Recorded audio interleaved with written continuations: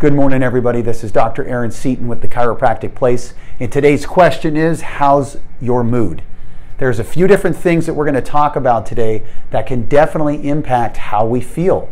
So, we're going to get right into it. One of the first things that I was going to talk about today is gut health and serotonin. Now, serotonin is a neurotransmitter that does, it can play a role in our mood and our how we feel good. It's not the only neurotransmitter that does that, but it does impact how we feel.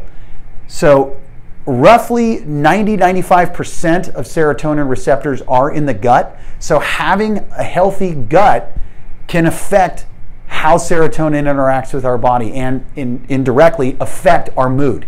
So, how do we keep our gut healthy? Well, let's eat healthy foods, whole foods. Um, eating things that are fermented foods can be really good, like raw sauerkraut, raw kefir. There's a couple other things like yogurts. Um, these are things that can impact our gut health, which can affect serotonin levels, which we know can play a role in our mood.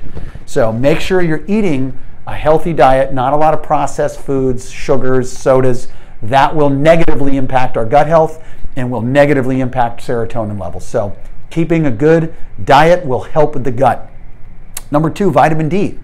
If you go up, if there's a hard winter, like say up in the uh, northern part of the, the, country and even into Canada, uh, it's really popular to, for people to do UV light therapy during the winter because, quite frankly, if we don't get enough sunlight, sun exposure, it can be kind of depressing.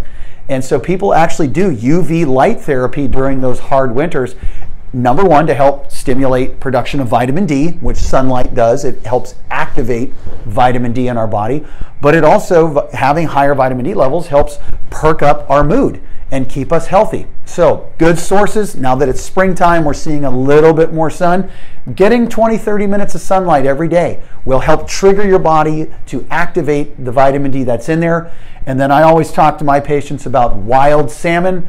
That is the highest food that I'm aware of that has higher levels of vitamin D than anything. So, consuming that maybe once, twice a week can really help boost your vitamin D levels. So, that's the vitamin D. Screen time versus social time too much screen time, number one, it isolates us. Uh, the other thing we are seeing, we've seen a, a, pretty rapid increase in anxiety and issues like that since the increase in use of devices and device time.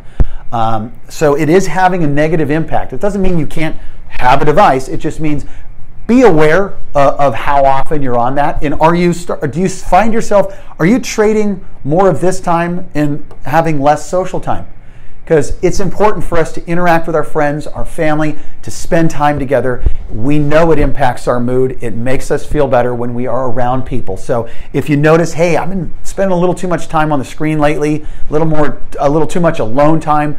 I want to get out there. So be cautious of this. Just be aware of it because it does affect our mood if we're constantly on a device and constantly by ourselves. Um, the last one is exercise. Exercise stimulates and triggers the release of endorphins. We know it's important for our cardiovascular health. Our body wants us to exercise.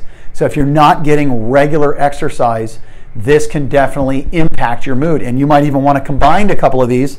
Go out taking a walk, or excuse me, taking a walk and getting some sunshine and getting the exercise those things can impact your mood. So it's by just a partial list of the things that I want to talk about that can affect your mood and help boost it. These are easy things for us to do and just be aware of, but hopefully this helps boost your mood for this springtime. I'm Dr. Aaron Seaton with the Chiropractic Place.